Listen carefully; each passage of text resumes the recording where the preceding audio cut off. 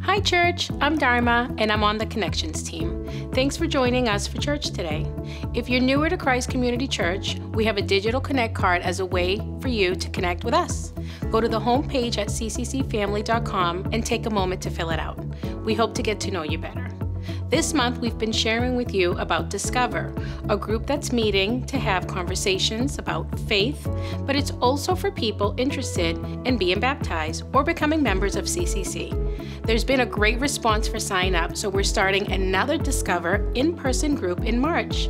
Plus, we're planning on having baptisms around Easter, so if you've been thinking about baptism, we would encourage you to check out Discover. Sign up is on our upcoming events page.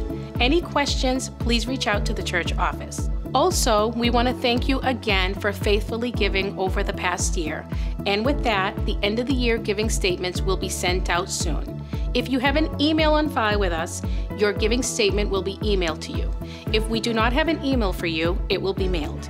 If you would prefer to have your statement mailed to you, please email Sarah at christcommunity at cccfamily.com. Thank you. Any of this information and more can be found on our website, and you can always call or email the church, Facebook message us, or fill out a Connect card with any questions. Whether you're in person or at home, thank you for being with us today.